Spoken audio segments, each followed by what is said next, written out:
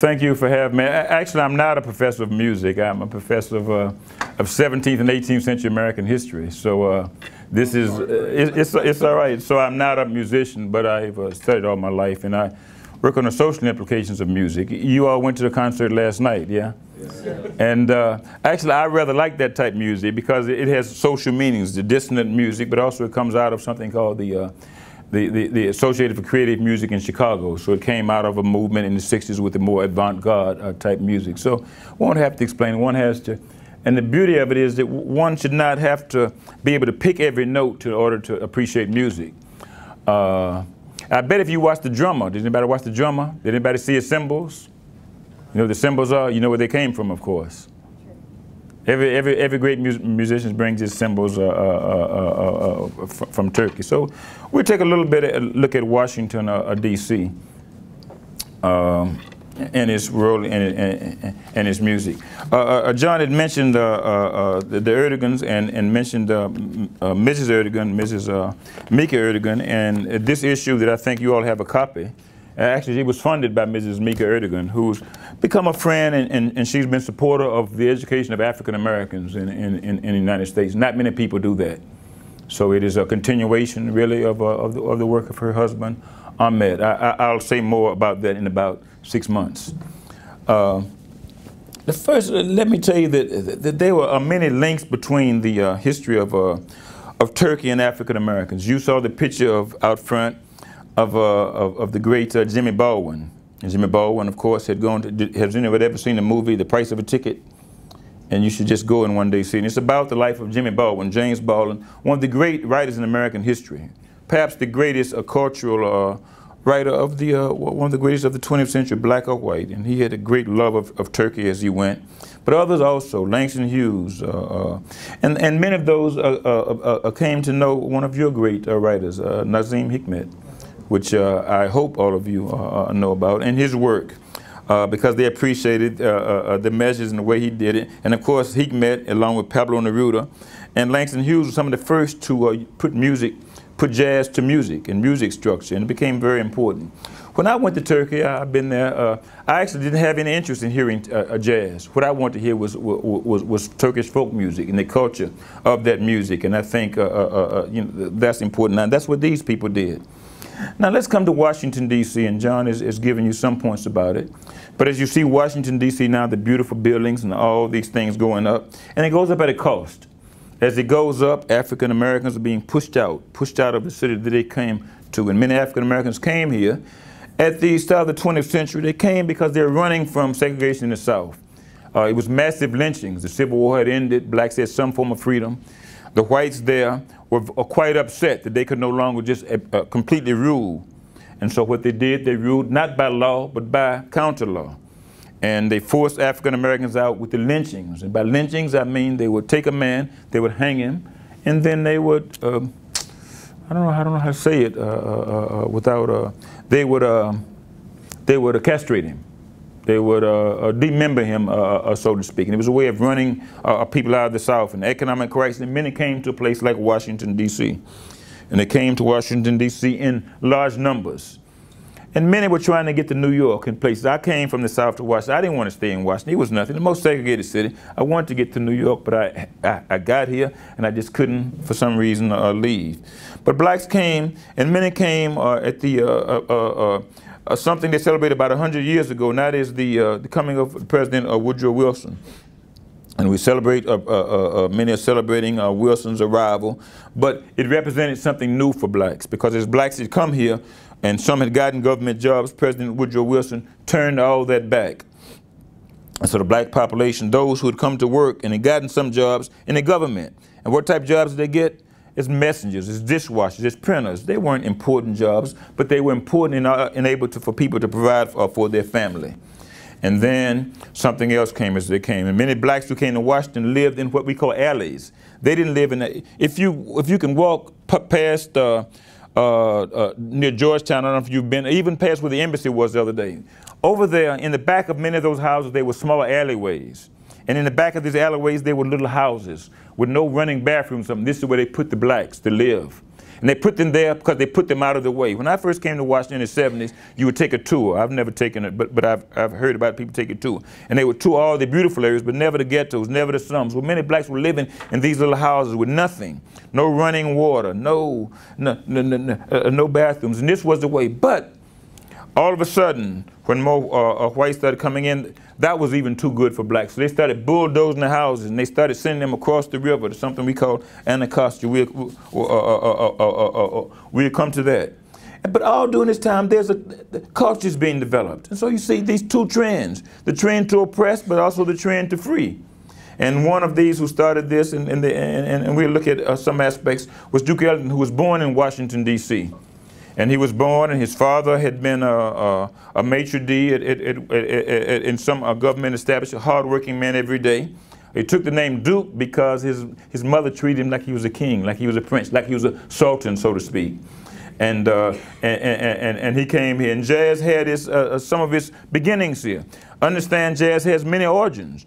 The origins really come from the South. It comes from the Negro spirituals. It comes from African Americans who, after the Civil War, followed the Union soldiers as the Union soldiers came and liberated them and picked up the trumpets and picked up the little bugles and picked up the drums and picked up the fife and went up to New Orleans. And they in New Orleans, they joined together African music, Louis Armstrong, uh, uh, Creole music, Ferdinand LaMenthe, Jelly Roll Morton, and the music of, of, of, of whites, of European march music of uh, uh, uh, of, of Bix Beiderbecke and people like that, and they joined those music, and they created this this music called jazz. And Duke Ellington became the prime force of that. Also during this time, however, it's time of great repression, a couple other things happened. World War I came. And as the World War I came, soldiers are fighting, but blacks had to fight for the right to go and fight. Because the U.S. military doesn't allow them to fight for their own freedom here, and they don't allow them to fight in, in the First World War, except they send them to Europe and they can dig ditches. But they, they argue and they fight, and then all of a sudden, a man named James Reese Europe, who's from Washington, D.C., becomes the first black to lead a regiment. And he leads the regiment, the Harlem Hellfighters. He leads that regiment, and also he creates a band. And in that band, they started playing all this music, and they go to France, and they start playing this song. And, and, and just as last night, maybe you didn't get the dissonance up, they play a song. And all of a sudden, the people recognize what it is, and it's the Marseillaise. And then everybody danced because they've taken this music, and the music hit Paris, and it's never left. And it coincides with something called the Washington Renaissance. And of course, you know of the European Renaissance, the remaking. And here, people took this jazz, and, and, and, and some people came to this place, Howard University, up on the hill. And as they went there, this is the first great school, of, well, one of the first great schools of learning for black Americans. As people come from the South, they look for better education. They create this, this what we call this renaissance uh, of art and culture. And they go to this place, Howard University. Uh, uh, and they go to, to, uh, to, U Street. And here's some of the greats you see there. Then, in, at Howard uh, University there, which we've shown in there, the picture of all these young black faces and all these musicians is not far from where John uh, showed of Wax and Max's restaurant. And they go to these places and pool clubs and places like that. And then they start societies, such as the Mu-So-Lit. And the Mu-So-Lit has many different me meanings. Musical, societal, literature. Yes? But most so light takes nothing. More so light. So what would that mean? Just off your head. More so light. More so light. Because there's a color line in the black community. And those who are lighter, look at the ladies, most are light skin. It's true. Musicians doesn't matter. You, uh, you, it doesn't matter whether you're light or dark. You can't fake it. Uh, you can play it. If dancing, you can, but you know, you can dance and you, one can look at the beauty. But Louis Armstrong, I mean, you couldn't play like Louis Armstrong unless you were Louis Armstrong. A man once asked Louis, how do you play that? And he said, if I had to explain it to you, you would never get it. And certain things will, uh, uh, uh, will come about. Anyway, you have these events coming around in, in, in, in, in, in, in, in, in, in Washington. But at the same time, you have great oppression. And uh, blacks are forced out of the alleys. They can't get jobs. In 1919, there are big riots in Washington, D.C. And why are there riots? Because uh, at the time of World War I, the soldiers started coming back uh, they think that blacks have gotten their jobs. Blacks didn't take their jobs. They come and they started uh, uh, killing blacks in all over all over America. People associate riots. When you think of riots, most times people think that blacks rioting and stuff, but it's not true. In some cases, in many of the great riots in America, they've been whites who attacked uh, uh, uh, blacks. But you hear about a riots in 68 or, or, or, others. You even hear about the, the, the little riots they were held in Ferguson. You've heard about that. Generally, that was a response to what? Response to police brutality. So one must look at those things. But anyway, so you have all these events, and, and Washington is not an easy place for African American to live. But they go to certain places, and there's on U Street, which you didn't have a, a chance to uh, go to, maybe. But they were they started. Uh, uh, this is the heart of Washington D.C., and they go to places like the Crystal Caverns Ballroom, which is still there. Ooh. And then uh, uh, some big events happen, and this is when the, the, the Ertegun brothers are, are come here. And they're here in 1939. In 1939, one of the great concerts in the history of America, right by the Lincoln Memorial. Have you seen the Lincoln Memorial? It was started in 1922. It was established there in the name of who? Abraham Lincoln. 50 years after the emancipation of blacks in Washington, D.C., uh, 1862. Uh, but when they dedicated this memorial to Lincoln, who in history is seen as the man who freed the slaves, and they dedicated black people cannot go there. Black people cannot sit on the stage, and they have one black person who's supposed to speak, and they rope it off. Uh, uh, uh, so he's not allowed, a Robert uh, Mos Musa, Morton. At any rate, you, so what happened was that one day in the Constitution Hall, not far from where the embassy is, the Turkish embassy, uh, this woman, Marian Anderson, the greatest, the great diva, uh, the, the, great uh, soprano, is invited to sing at this Constitution Hall. But they find in Constitution Hall that blacks cannot go in there. So Mrs. Roosevelt, Mrs. Roosevelt, the great uh, uh, uh, wife of the President Franklin D. Roosevelt, decides to, along with other people, organize a concert and it's held outside at the Lincoln Memorial. So when you see Dr. King at the March on Washington in 1963, you remember that all this started when this woman went there uh, uh, to sing, and here she sang, and the music went all over the world. And listening to that in Washington, D.C., was Ahmed and, uh, uh, uh, uh and and, their, and their daughter Selma and their mother. And their mother was a great, was a great music listener. She taught them music in the, in the house. At the same time, another event had come. In 1939, when this is happening, there's a concert in New York City by a woman named Billie Holiday. And Billie Holiday sings a song called Strange Fruit. Southern trees bear strange fruit, blood on the limbs and blood on the roots. What does that mean? She's, she's depicting the lynching of, of, of African Americans. And as she uh, depicts that, uh, the brothers speak about hearing that. And Ahmed speaks about uh, listening to this and how both events had a tremendous impact upon him. And then Billie Holiday comes to Washington. He sings at the Club Bali Club. And as you notice, a lot of times when you see the jazz images, it's about the exotic because that is the type things they had to put. The African is different. The African is other. The African is dark. In order for them to sell it, they have to, to uh, uh, uh, uh so, somewhat uh, put it this way. It's another discussion. But this Billie Holiday, who sang that song "Strange Fruit," comes to Washington, and and and, and many others. And so the brothers are seeing that. Now John told us about when the brothers come to Washington, they go to a school first called St. Albans, which is a school up the street, the Episcopal school. I sent my kids to school there. The schools in Washington are very, are very, uh, uh, uh, uh, they're, not, they're not the best of schools, so one has a struggle. And so my wife and I struggled and we sent our kids to this school, not to be around white people. That didn't matter, but it was the best education we could afford. Well, the same reason is, is the ambassador sent his sons there. But they made them go to chapel. And, and, and, ambassador says, our sons are Muslim. You cannot force them to go to chapel. So they sent them to another private school called Landon, much farther up the street. Luckily, they had a chauffeur. And the chauffeur, uh, uh, uh, uh it, his name will come to me. Uh, as they go to him, the chauffeur also takes them around to different places around town. The chauffeur is also a, a boxer. He takes them to boxing. Uh, so he takes them uptown to hear the music. And Ahmed tells a story about once his father going to New York for a Nine Nations meeting, and they go, and all of a sudden he's 10 or 11, and he's out all night because he's going to some jazz club, and they look all over New York, put out a warning for him to find him, but he's out with the chauffeur, taking him to these jazz clubs. And Ahmed tells a story about uh, Washington, when he comes to Washington, there's only one integrated place. An integrated place are the brothels. I don't know if anybody, anybody old enough to know what a brothel is? Well, you've seen movies, right? I, I don't know what a brothel, what a, when I first came to Washington, it, it, this was in the 70s, right around the corner, uh, they would, uh, there was a, a, building right on the corner. And in this corner, there were brothels. And you would see mainly uh, white guys uh, uh, with neckties and they'd be standing out in line. And what they'd be doing, they would come and they would peek, and then they'd run into the buildings. They were brothels all over town, right here in Washington D.C. in in in, uh, in, in, in, the uh, in the 70s. It's type city it, it, was, so to speak. So these guys would go. They'd go to all these things and they hear this music. And they came into contact with African and African Americans, and they saw the culture and began to love the culture. And Ahmed says, and I quote, Washington, D.C. during the 40s was totally segregated. It was very hard to conceive of this today, but in those days, there were no department stores that would allow black people in uh, as customers. In fact, if you went to a store, if you were black, if you tried on a pair of shoes, if you wore a size 10 shoe, uh, uh, uh, and you tried on a shoe and it happened to be 11, you would have to buy take the shoe. Ladies, if you wore a size 7 or 6 or, or 5 or, or, or 10 or whatever, and if you tried on a shoe and it was a size smaller, if you tried on, if you were black, you'd have to buy that shoe. And it was just the way, and they weren't allowed in, in, into these uh, stores. And this had a great uh, impact on these uh, uh, uh brothers. And they started appreciating this music, this culture. And then uh, they started something else. They, they could not, the father says, look, I don't want you out in the street hearing this music, so just bring the musicians here. Bring them to my house. They started bringing them to the embassy. And they brought them in, and I think John has shown you pictures of some of the great people uh, uh, uh, who play, played the Mezzrow and Jack Teague, and just many, many others on the instruments. As they came there, they played through the night.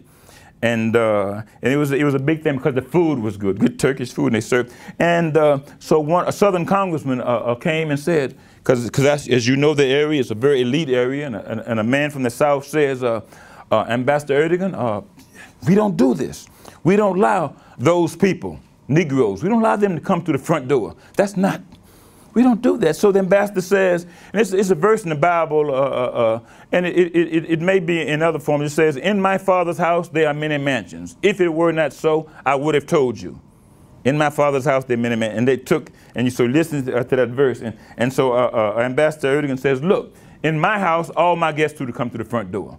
But if you want to come through the back, if you don't like it, you come through the back door uh, and it set it up uh, uh, right then and created a great uh, commotion. And people saw uh, uh, the house is not just a place for music, but a place for culture, for liberty, but also to sit down and, and, and, be treated in equality. And it had a big impact upon these brothers. And they decided to, to, to start doing something uh, more about it. So they started holding concerts. And the first concert they had was at a place called the Jewish Community Center, which is up at 16th and P Street, 16th and R Street. Now, dig this, as they say. Here, two Muslim brothers having a concert of black people in a Jewish spot. It wouldn't happen today.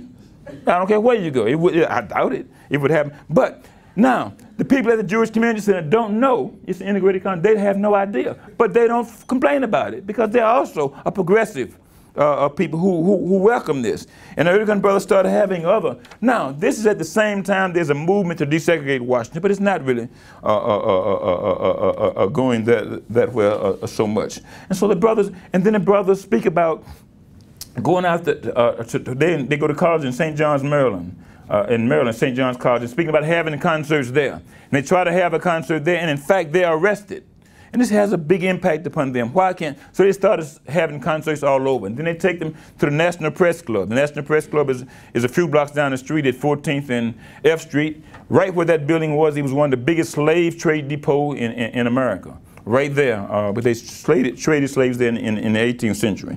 And all this had a big impact. But the brothers started having concerts there. And they brought people like Louis Armstrong, who you've uh, uh, of no doubt heard about. And then in Washington this time, the brothers are affected by the discrimination. Just look at the numbers very quickly. Are they there? And here's the uh, uh, uh, the black population, and we see. But as the black population lives there, they cannot they cannot uh, uh, uh, uh, live in integrated houses, but neither again can anyone who's not white. So Jewish people cannot. Of course, the census now, you have to be very careful because the census, because in those days the census list Muslims as white. It still does, in matter of fact, uh, in, in America. But here they have these covenants, and that no person of any Negro blood or, or the Semitic race means Jewish. And no person there, including Armenians, Jews, Hebrews, Persians or Syrians. So no one can have the right to live in these, and there are these laws that are fi uh, found there. And the Ertegun brothers know about that. And so they challenge this through their music. Then all of a sudden, of course, uh, uh, they started learning and going to the community. And it's very unusual. Uh, uh, to have black, to have a white uh, young men or people of a different culture go and visit these establishments. Now, a lot of whites do go, but they go what they call slumming, which means they go. The best example I can tell you is that when I was a kid, we were very poor in the South. and sometimes whites would take uh, take their fancy cars and they would come to the ghetto or to the urban to projects where we lived at, and they would say, "Uh huh, if you don't do right, if you're bad, you will end up living like these people." Uh, uh, and they do it. And then the poor people like me, you take a drive. If you had a car, you didn't have a car, they drive you up to where the well-off whites say, "Look, if you work hard, maybe you can have a house like this," knowing that we never really uh, uh, uh, would. And so the brothers come and become a part of this whole movement and understand how this movement affects and has a big effect on the culture of the society. Lastly, and I think we were told when they formed this organization called uh, called uh, this Atlantic uh, Records, and has a tremendous impact. And they started producing musicians. But they also started producing music who have a social consciousness. One of the first one was a man named Charles Mingus, who was one of the great jazz bass players. And he produced something called Pithecanthropus erectus, the, on the rise and fall of uh, humankind. Uh, and they produced another record called Haitian Fight Song. Haitian Fight Song was by Mingus, but it was dedicated to the Haitian Revolution, which was the grand revolution amongst our blacks. Uh, they produced a John Coltrane, who's the greatest of, uh, of, uh, of, of, of, jazz musicians, something called uh, uh, Giant Step Records with a great song, uh, My Favorite Things. They produced the great Ornette Coleman. If you think you heard some avant-garde music last night, go listen to Avant, uh, uh, uh Ornette, Ornette Coleman. You would really hear it. If you saw, you remember you saw the album cover with, uh, uh, with, with, with, Paul Desmond, with with Brubeck, and you saw the the art on it. That was avant that was avant-garde art, but that was what came out during the period. And they started producing people like that. John Coltrane on his record, and this is the one that the Ertegun brothers produced, says, music is the whole question of life itself. And Ornette Coleman on the record they produced. I think jazz should try to express more kinds of feelings than it, has up to now. You're actually hearing and trying to express the warmth of the human voice. And so all jazz does not have to be clearly understood, but you have to understand the feeling and the depth uh, uh, this comes uh, uh from it. Lastly, uh, uh, the brothers continued the efforts, and one was in some of the great words of, of Ahmet Ertegun. And he said, one of his last quotes, all music popular, all popular music stems from black music, be it jazz or rock and roll. And right before he died, he said, I'd be happy if the people said that I did a little bit to raise the dignity and recognition of the African American people. I'd be happy if they understood that I did a little bit to raise the greatness of African American music. Thank you.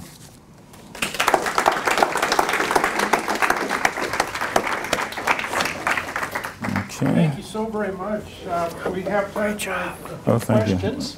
You. you too. So, great, great slide. Yeah. Uh, thank you both for the presentation.